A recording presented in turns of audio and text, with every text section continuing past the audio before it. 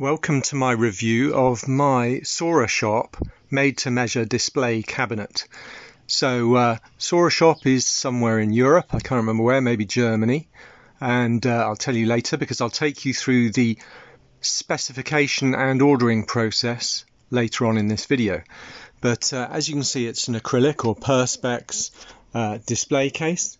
Uh, I've spec this out specifically model for model cars and I've um, decided on sizes and dimensions that are cost effective and that fit both 43rd, 43rd scale cars and 18th scale cars. Now at the moment you can see there are no 18th scale cars in it, it's purely 43rd scale. Um, but uh, if I look here, you've got an 18th scale, there's the Lamborghini Urraco from one of my other review videos, and that would fit quite easily into one of these compartments. Uh, then you'd have space along the front for a couple of 43rds and at the end for a uh, another 43rd or you could just angle it quite nicely and just use the space. Um, so but of course you get the choice to decide what specification you want and what dimensions you want. So with this particular design I've got uh, one two three four intermediate shelves plus the bottom if you want to count that. And one uh, it's actually a two column design. There's one column there's the other column going down there. And uh, but you you get this flat packed and you assemble it yourself. So the first thing to look at is the front because the front comes off. And you can see in the front you've got a series of slots one and two slots. There there there and there. And this front flat piece of plastic, it's all only ever flat plastic. Don't get me wrong, there's no curved plastic where they've heated it and bent it or anything like that. So this these this front piece where it's got the slots hooks up over over those hooks you can see there and we're going to unhook this one right okay there we go so I've just taken the front off there and now you've got full access to all of your models and all of the shelves. Um, now I've chosen a clear a clear backing for for my uh, for my uh, uh, shelving here for my cabinet. You can get mirror or perhaps there are other options too. Um, so you can see, um, I mean, here's my collection of personal cars that I've owned almost, although I haven't owned this uh, CX here. I've owned basically one of all the rest. Uh, maybe more to come in a separate video. In fact, if you see anything in this video in terms of model cars you'd like me to talk about and review, then please do. There's a load of Spark model cars, some Minichamps, and a load of HPI model cars here. Um, and I've bunged some bonus items on the top. My old Cherry Coke 1980 something Olympic Games can, which is empty. I did drink it at the time uh, uh, fully packaged Citroen C6 because I own one of those. And um, you'll have seen the, the review of this Rocket Bunny RX-7 okay so um, in a minute I'll take you to the specking process. Uh, but let's look a bit more about at the um, the way you build this. So if we go to the back you see the back plate and you see there it's got a um, a hole for hanging this from the wall. So you can actually hang this whole assembly from the wall. And these these uh, side pieces here, you'll see have um, have bits protruding out the back, and then um, they uh, you put these little pegs. Oh, that peg goes that way. Pegs coming through to keep it together. So there's no glue, no screws. It's just pegs and holes and uh, and that. In fact, let me get a better view of that peg. Okay, hopefully there you've got a better view of the peg, a bit up from the Mini there, the yellow Mini, but behind at the back of it. Okay. One of the advantages of having a clear back to the shelf is that you can backlight your shelf. So since the last scene in this video, I've turned on these uh, decorative clear lights here, colourless lights, white lights, and um, already I had on at the back, if we see there, I've got a fluorescent tube light which is also projecting upwards just to give us some backlighting as you can see there. So um, quite advantageous to have that.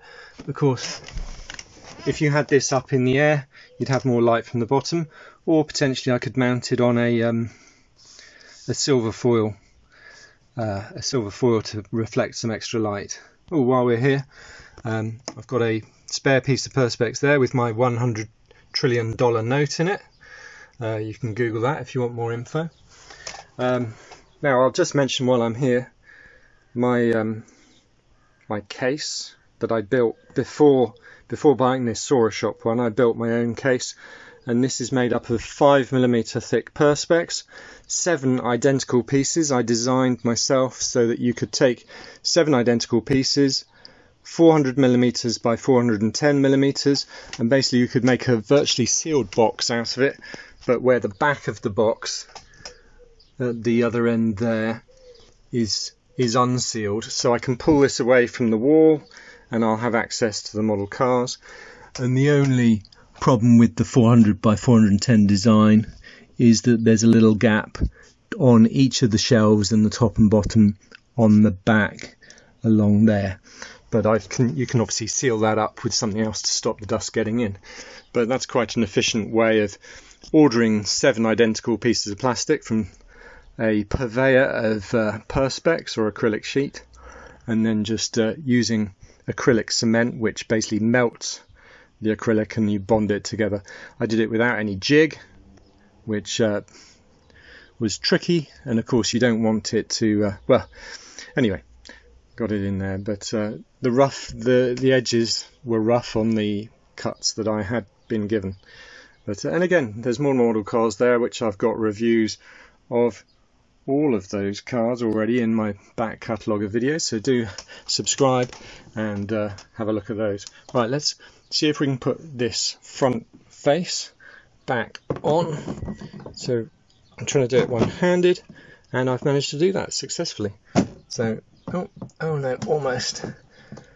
There we go that one wasn't quite over and in fact these bottom ones aren't either so I'm going to put this down and uh, do that myself now and now we'll move on to specking it on the Sora Shop website.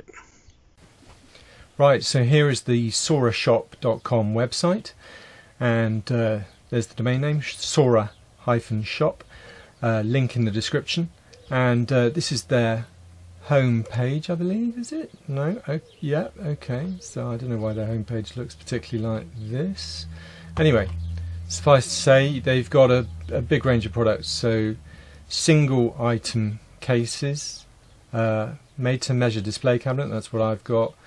Uh, boxing glove case, football ca uh, case, um, CD display rack, guitar pick case, golf ball case, turntable cover, figures, model figures, um, slot car case for 30 second scale slot cars. Uh, I've got a friend with one of these, or actually he's got two or three of these. He's very happy with them. Uh, CD rack, model railway. So my friend with the uh, slot car cases also has model railway uh, display cases. He's very happy with up on the wall in his hallway, and uh, so on. So there's a good variety. We're interested in the made-to-measure cabinet, display cabinet. So let's look at customized products. And um, there's a variety here that you can have staircase, golf balls. Um, we need the made to measure display cabinet. Let's click on that one and go through to it. Right, so price is starting at 23 euro and you can configure the product. So um, we uh, we can then so if I change the width it will change the price as well um, or in this case that might be a minimum price. So let's go up in width to 50 and it's gone up to 30 euros. So this shop is in Germany, by the way. So uh, you'll be paying in euros. Um, uh, I'm in England, but of course we're still part of the European Union until the end of this year, till the end of 2020, but we've never had their currency. But it does make it nice and easy because there's no customs tariff. So bear in mind you've got to add shipping costs and custom tariffs to this to get to your to your amount. Now, I've got an email here from when I made the order, so I'll put that on screen now. By the way, you want to be watching this in full HD, 1080, okay, because um, that's how I filmed this section of screen capture. So uh, I've got this uh, email here, and it says that I've got the width of my order was 64 centimeters. It was 20 centimeters deep front to back and 50 centimeters high, uh, tall, uh, and it had two columns, five shelves, transparent with front panel. So when it says transparent, that's the back. So let's have a look. Uh, we can let's go to the back panel. I can expand that section so you can have black or reflective. I get confused by reflective, seeing more model cars behind my actual model cars where they're just inverted versions of my model car because it's just a reflection. So I like transparent and it means you can backlight it as well, which is useful if you're keeping your models and your display case away from sunshine, which you definitely should do.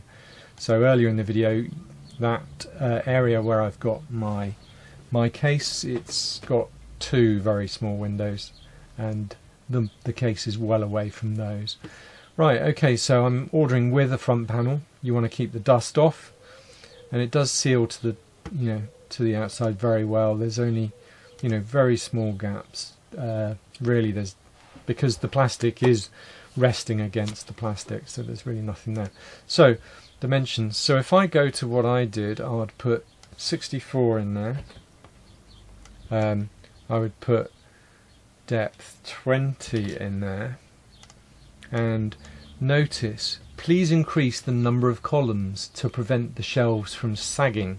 So they're not going to let you produce something that doesn't really meet their quality criteria. So um, let's just add up the columns to 2 which is what I ordered mine with and the shelves to 5 so the number of shelves combined with the height will give you the height of each little compartment. So you'll need to take the size of your vehicles into account, how much headroom do you need for them, and you also, it's not just a matter of fitting the models, you want to be able to look at the models easily without the models on the layer above, on the shelf above, getting in the way. So um, I did like my height of 15. If you're only ever going to have 43rd, you could go smaller perhaps. So um, I actually designed mine in Corel Draw by using uh, a floor plan, a floor plan kind of layout where I could put rectangles of model cars. I'll show you that in a moment. Okay, so I've spec'd it up here. Um, what have I done wrong? So height 15. No height. Height I need to be at 50. Okay, because it wasn't going to let me have 15 because I had too many shelves to fit into 15. Uh, uh, total height of 15. Right, so there's mine. So do play around with those. And it's a matter of, for me, it was a matter of maximizing the number of cars I could display well against the price.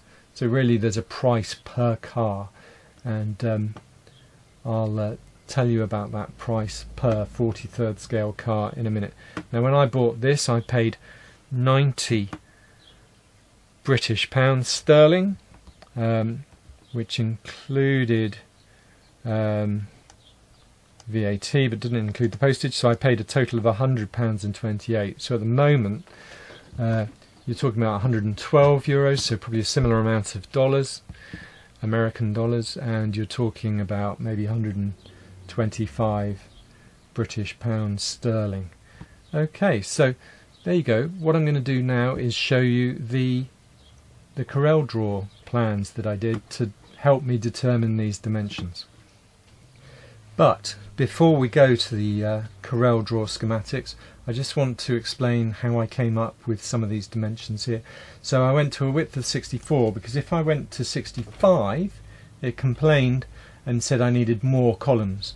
Now because I'm not putting heavy objects on there, having a minimal number of columns was fine. So going for a total width of 64 with two columns was the widest I could get with the minimum of columns. Every column you add to the design adds extra cost. So I wanted to get as much width for as few columns.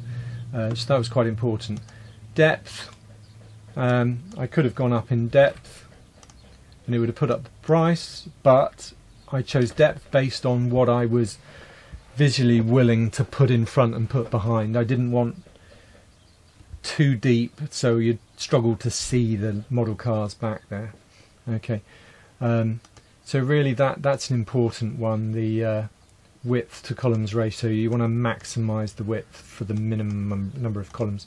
Of course, if I'd gone to four columns, I could have probably gone up to 128 width. No, not there. Let's try five columns. No. Six columns. Seven columns. Okay, I'm not sure why it's okay. Please reduce it. Okay, so it's telling me I can't exceed 100. So if I go to 100, which is the maximum width, then I can get away with. No, I can't even get away with three columns. I have to have four columns, which is less than ideal. So really, I'd go for three columns, and then it would be something like 80 width. Okay, that will accept 80, 85. It'll accept 85, 88 doesn't. Yeah, does as well. 90, 95. It didn't mind that either. 99. Okay, 99 is too far, so 96 it won't do. So 95 is as wide as you can, go with just three columns. And bearing in mind, you only get up to 100 in width, 100 centimeters in width, but you'd have to add an extra column just for the five extra centimeters, which really isn't worth it. So um, either go for a 95 with three columns, or as I did, a 64 with two columns. Okay, so switching now to Corel Draw.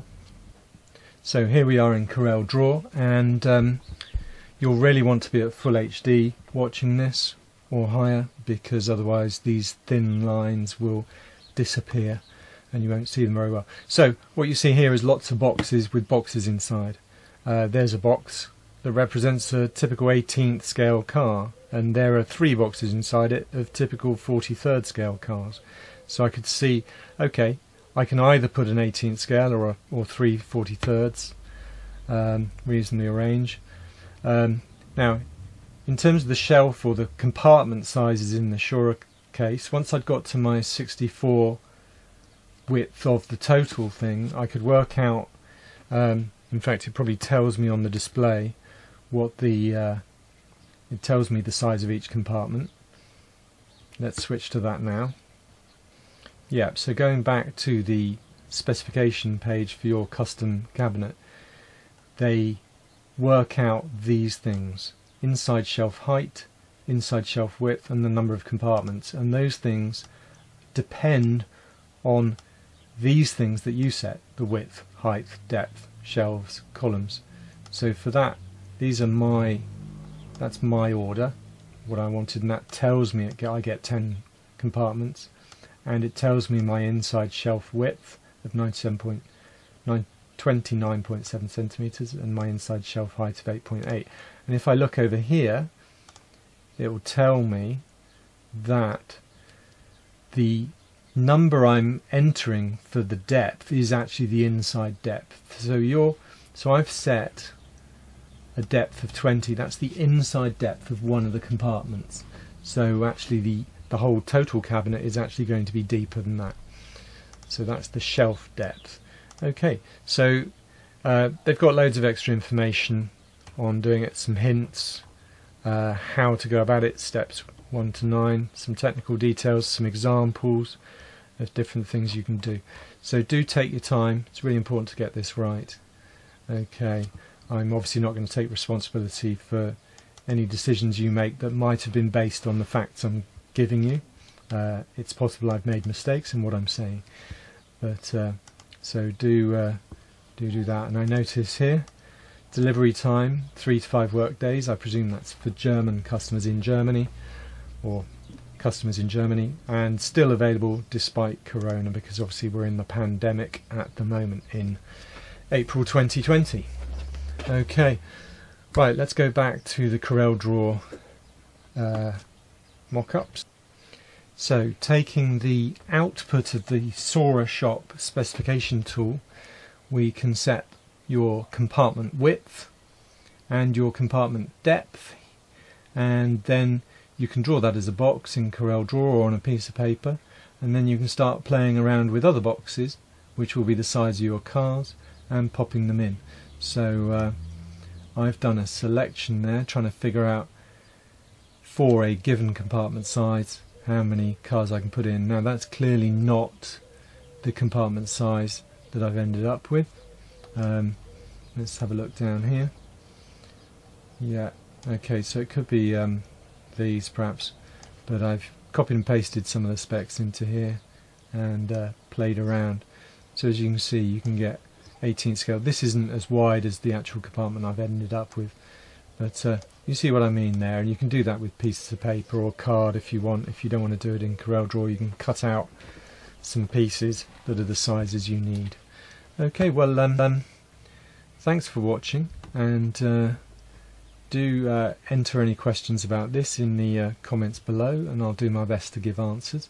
There'll be a link to Sora Shop Sora shop in the description so you can make some orders of your own and uh, good luck with uh, your build. Thanks for watching. Do like this video and subscribe to the channel and do have a look back at uh, my other videos of model car reviews including there's a playlist of model car reviews for this channel. Thank you. Bye.